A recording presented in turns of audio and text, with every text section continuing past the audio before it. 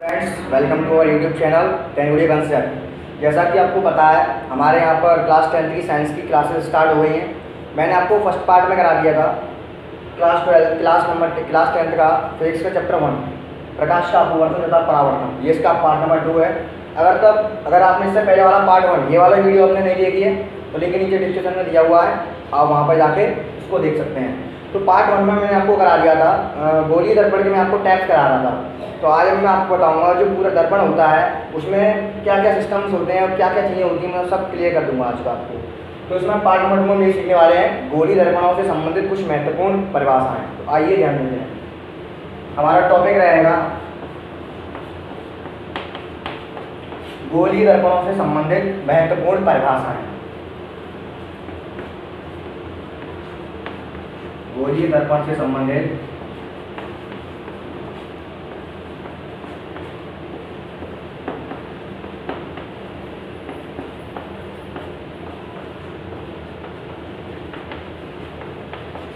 महत्वपूर्ण परिभाषा।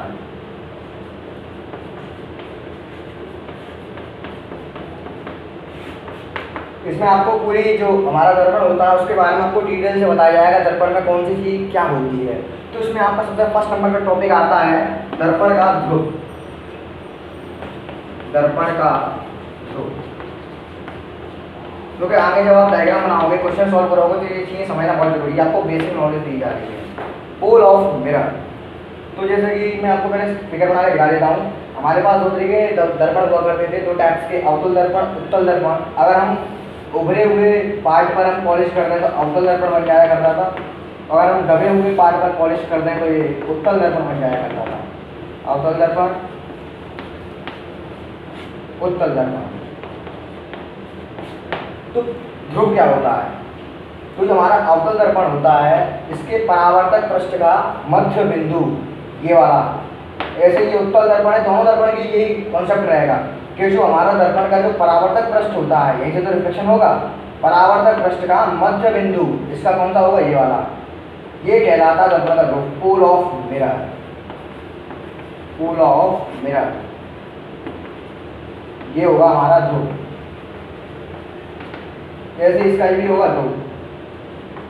हमेशा ध्यान रखना, जो हमारा द्रव होता है, उसको हमेशा पी से नोट किया जाएगा। पी से डिनोट करते हैं इसको पी से। ध्रुव यानी कि पी या समझ जाना क्वेश्चन में क्या होगा? पी यानी कि क्या दिया हमें ध्रुव दिया। इसकी डेफिनेशन लिखेंगे हम। गोलीय दर्पण के। परावर्तक पृष्ठ का मध्य बिंदु। परावर्तक पृष्ठ का मध्य बिंदु। दर्पण का ध्रुव कहलाता है। दर्पण का ध्रुव कहलाता है।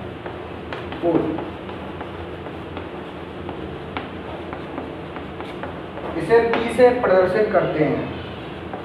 इसे पी से प्रदर्शित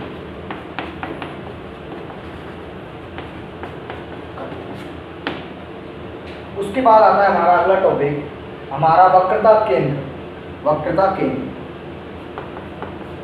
सेकेंड टॉपिक आया इसमें वक्रता केंद्र।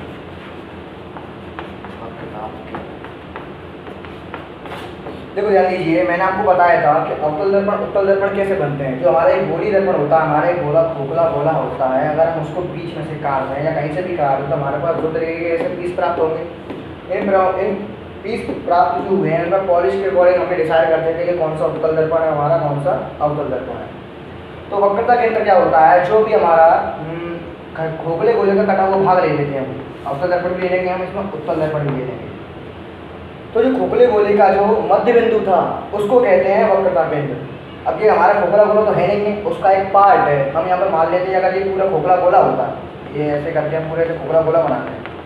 तो उसका सेंटर पॉइंट कहाँ बनता? सेंटर पॉइंट इसका यहाँ बनता। तो अब इसको मिटा दो। यानी कि वक्रता केंद्र क्या होता है? खोखले गोले, जो हमने जो पीस है हमारा खोखले गोले का मध्य बिंदु वक्रता केंद्र कहलाता है। इसे हमेशा सी से प्रदर्शित करते हैं बस बस ऐसे इसमें ये गोले का एक पीस है, मैं पता नहीं है, गोला कितना बड़ा था तो हम इसकी तरफ़ से गोला मार लेंगे एक सर्कल बन गया, इसका जो सेंटर पॉइंट होगा, वो इसका वक्रता केंद्र सी होगा। अब इसको जो है रेस कर दो, इसका पॉलिश कर दी। ये हो ये हमारा अवतल दर्पण और ये हमें बताइए ये तो पोल था ही, शुरू से ही। पोल इसको बोलते हैं पी ध्रुव इतना नोट कर लीजिए, आगे कुछ पॉइंट्स हम आपको अभी करा नोट कीजिए। तो हमारा वक्रता केंद्र क्या था? गोलीय दर्पण का गोलीय दर्पण का तो वक्र केंद्र की डेफिनेशन क्या बनेगी? गोलीय दर्पण का परावर्तक पृष्ठ।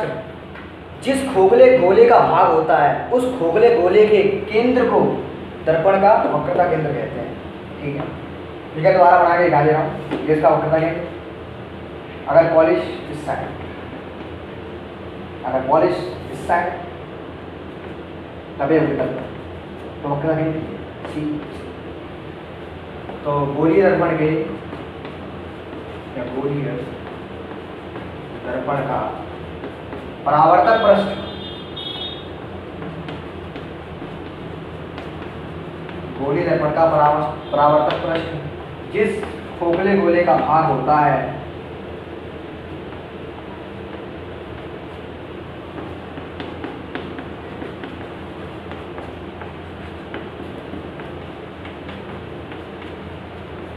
उस खोखले गोले के केंद्र को।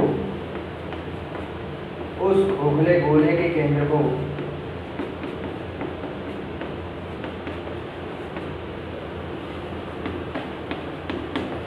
दर्पण का वक्रता केंद्र कहते हैं।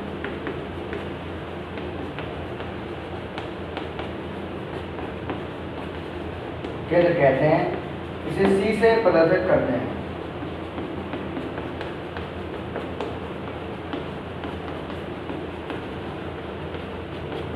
ठीक है। वक्रता केंद्र का जो टॉपिक था, हमारा इसे क्लियर होता है। वक्रता के बाद हमारा अगला टॉपिक आता है वक्रता त्रिज्या।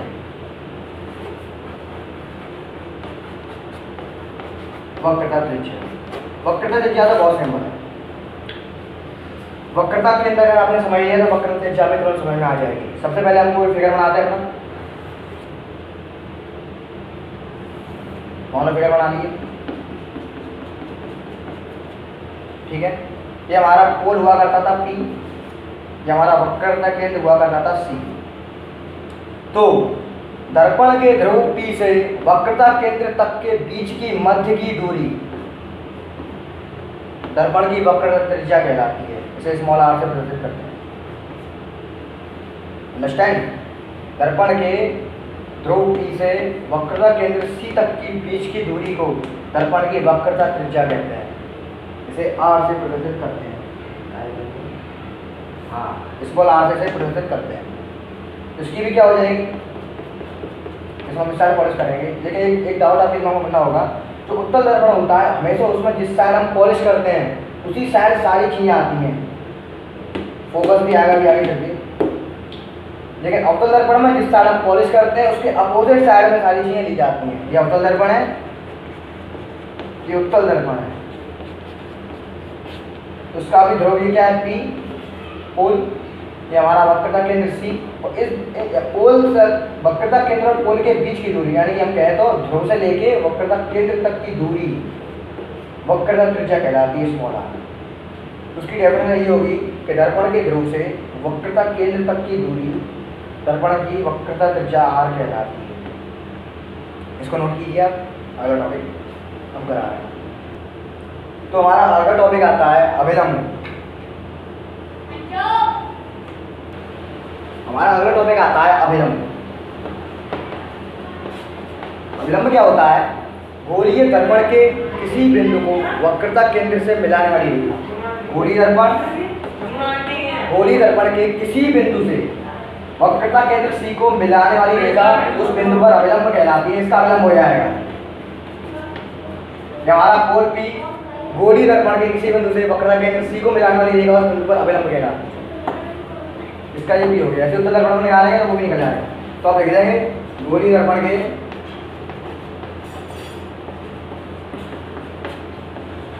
किसी बिंदु को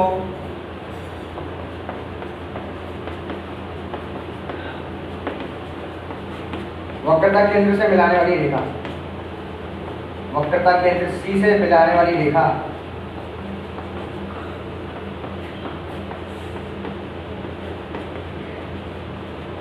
उस बिंदु पर अविलंब कहलाती है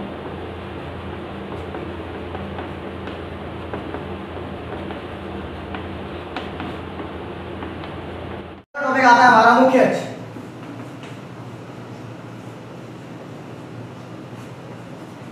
चित्र तो बहुत सिंपल है। हमारे पास हमें पता है, एक अवतल दर्पण हुआ करता था, एक उत्तल दर्पण हुआ करता था।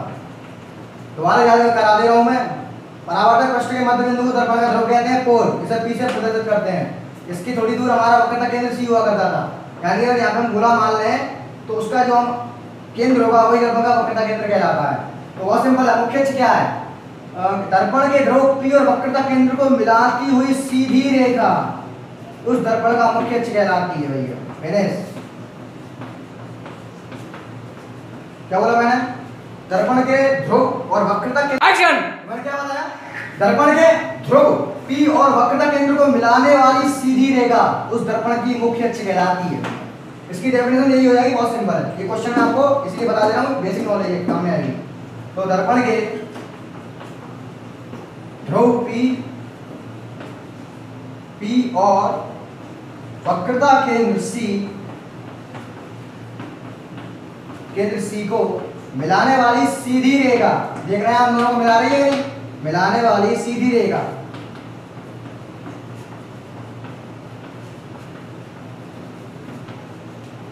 सीधी रेखा दर्पण का दर्पण की मुख्य अक्ष कहलाती है।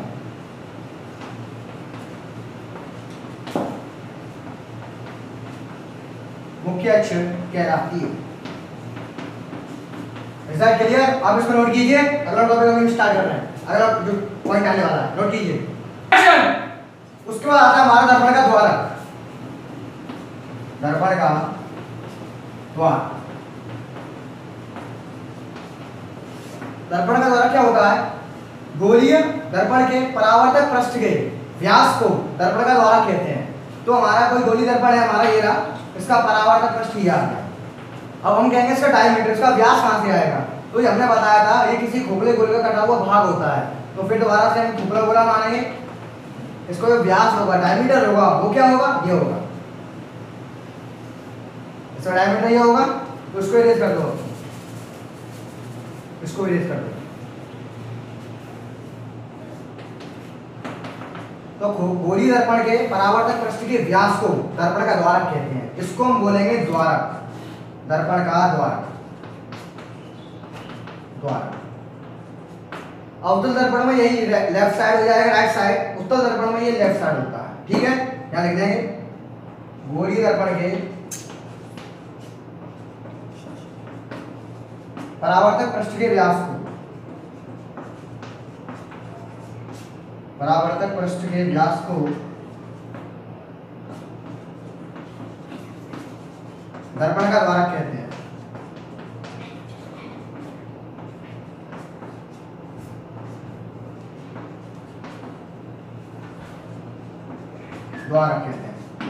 कीजिए, अगला अपन टॉपिक करा रहे हैं। अगला टॉपिक आता है हमारा मुख्य फोकस ये इंपॉर्टेंट टॉपिक है, ये एग्ज़ाम में अवश्य पूछा जाएगा। मुख्य फोकस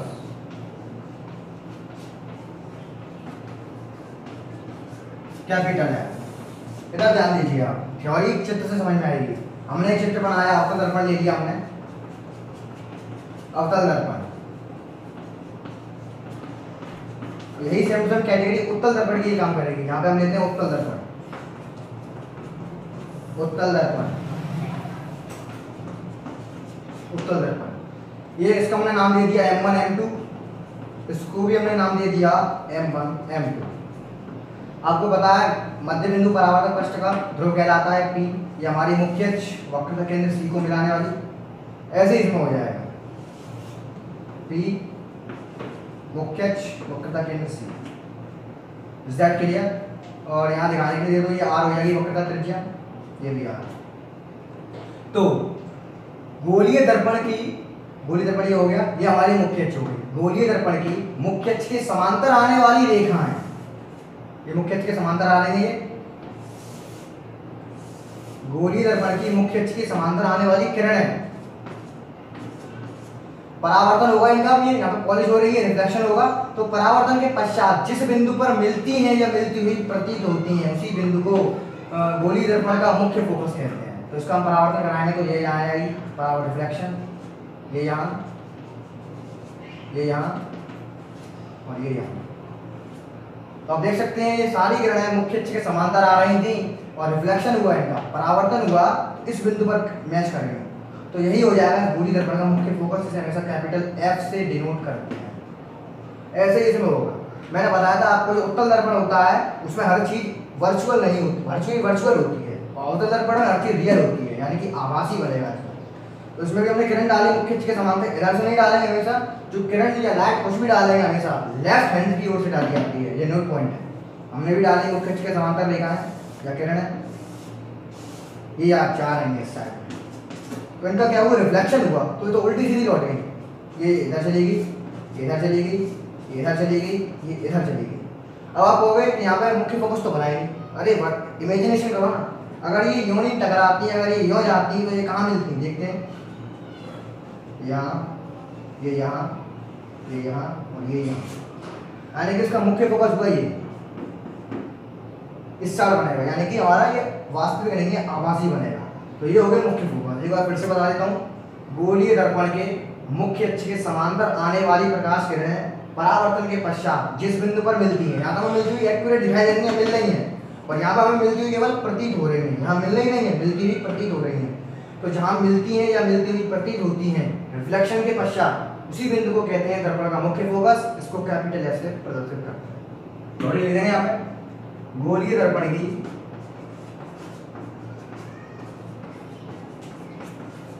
मुख्य अक्ष के समांतर आने वाली प्रकाश किरण।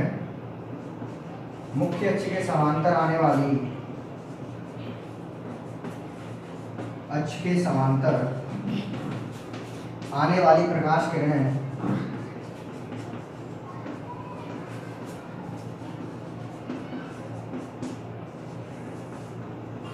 परावर्तन के पश्चात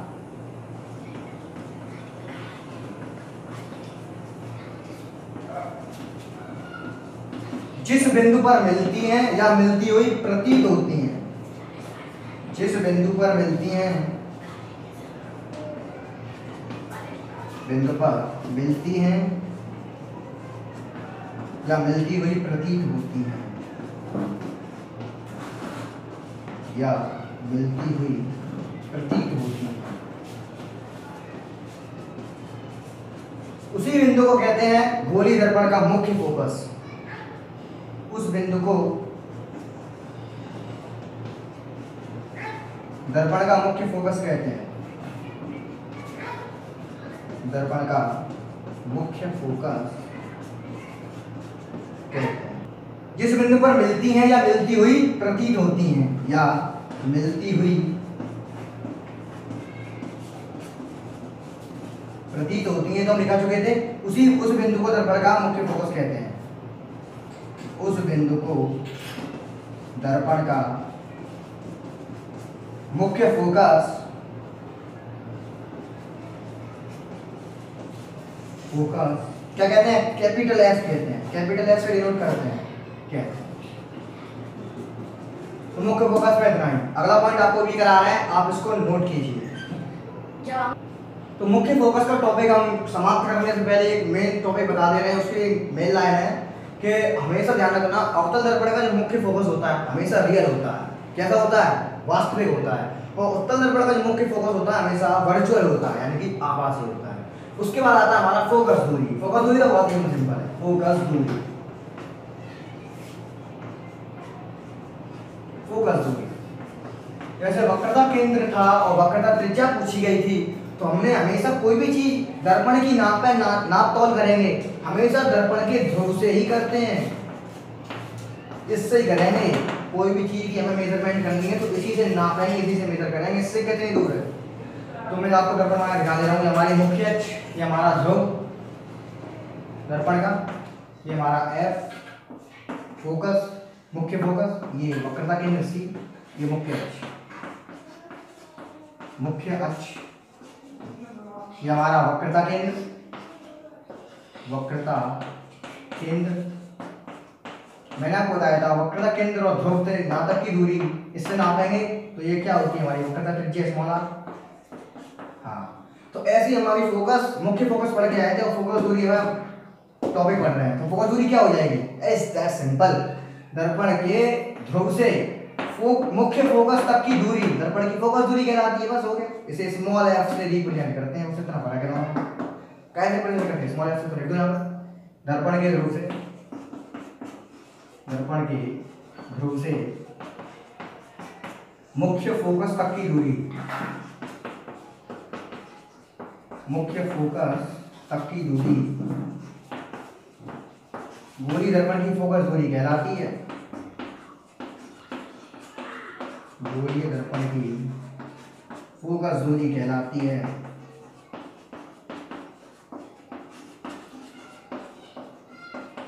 फ़र्क से इतना है, इसे स्मॉल एफ़ से प्रदर्शित करते हैं। इसे स्मॉल एफ़ से प्रदर्शित करते हैं। बस हो गई फोकस दूरी उसके बाद हमारा अगला टॉपिक आएगा फोकस तल। फोकस तल क्या होता है? फोकस तल होता है, दर्पण का फोकस तल। फोकस दूरी से गुजरने वाली फोकस मुख सॉरी मुख्य फोकस से गुजरने वाली, मुख्य फोकस के लंबवत तल, ये रहा। मुख्य फोकस से गुजरने वाला, या गुजरने वाली मुख्य मुख्य फोकस के लंबवत रेखा। फोकस तल कहलाती है। फोकस तल कहलाती है। तो इसकी डेफिनेशन क्या हो जाएगी? वह तल जो मुख्य फोकस से गुजरता है जो मुख्य फोकस से गुजरता है।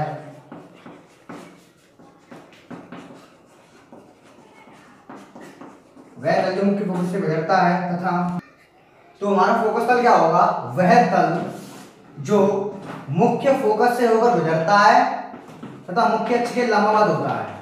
ये मुख्य अक्ष, मैंने आपको बताया था।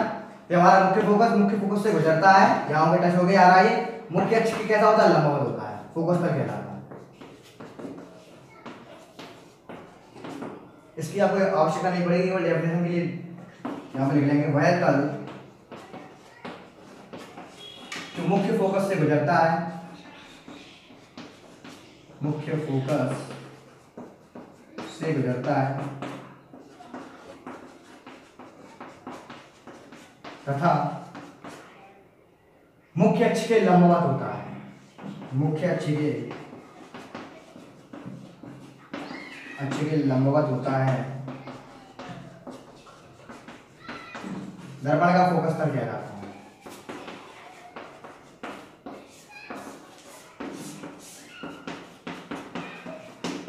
तो ये हो गया आपके दर्पण में जो भी कुछ टाइप्स आते थे, वो सारे कंप्लीट हो गए हैं। तो हमारा पार्ट टू में इतना ही। आगे फिर मिलेंगे पार्ट थ्री में, जिसमें आपको बताएँगे कि किस किस किस टाइप से इनसे हम प्रतिबिंब बना सकते हैं। अनंत दूरी पर बहुत सारी चीज़ें आपको सीखना बाकी है। तो वीडियो ज़रूर देखना, वीडियो काफ़ी इंटरेस्टिंग होने वाला है। वीडियो को लाइक और सब्सक्राइब कर देना चैनल पर नया तो सब्सक्राइब कर देना। धन्यवाद।